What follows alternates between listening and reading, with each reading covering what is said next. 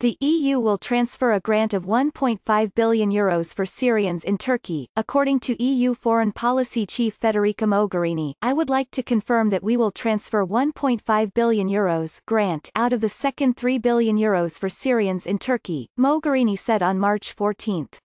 Speaking at the opening ceremony of a conference on Syria organized by the EU and the UN in Brussels, Mogherini underlined that the solution in Syria is not military, but political. Turkey hosts more than 3.5 million Syrian refugees, more than any other country in the world. Syria has been locked in a vicious civil war since early 2011, when the Assad regime cracked down on pro-democracy protests. Since then, hundreds of thousands of people have been killed and more than 10 million others displaced, according to UN officials. Brussels to host EU-Turkey meeting Meanwhile, the 54th meeting of the Turkey-EU Association Council will be held in Brussels on March 15, Turkish Foreign Ministry has said.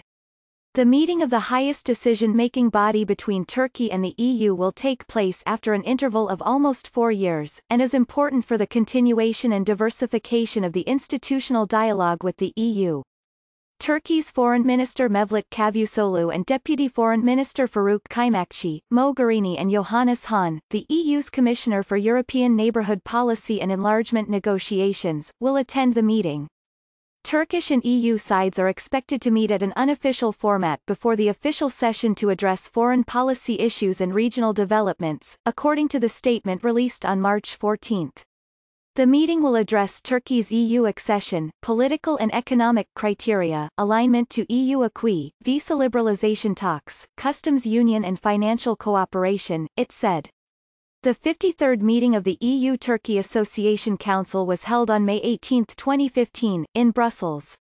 The Turkey-EU Association Council was established in accordance with the Ankara Agreement, which entered into force on December 1, 1964.